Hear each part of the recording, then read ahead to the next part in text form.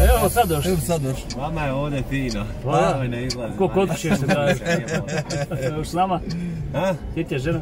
Pa Evo ovdje, ovdje sjedimo. Tu sam ovdje, ovdje ću izaći.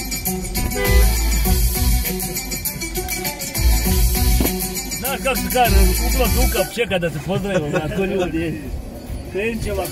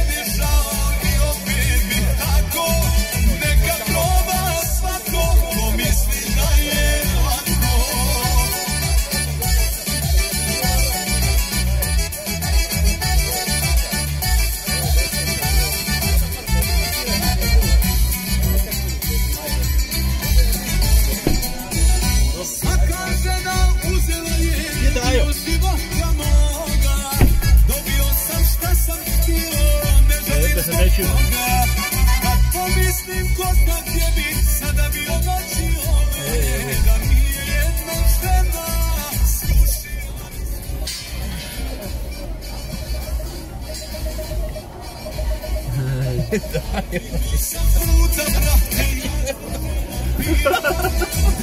Čekaj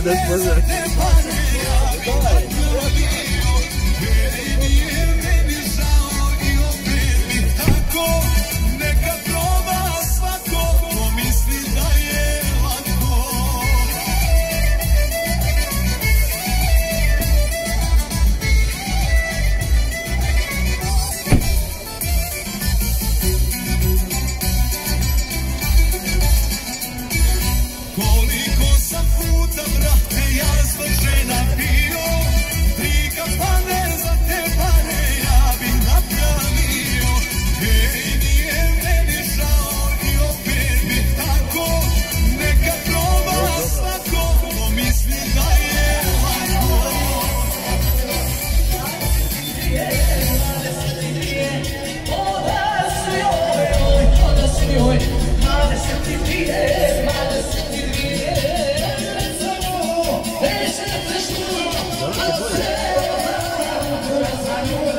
Se bude.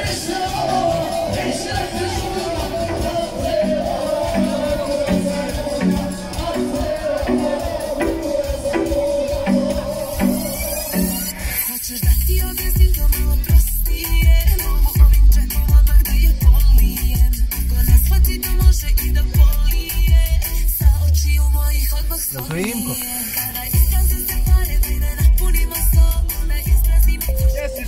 Nije evo te nisam se.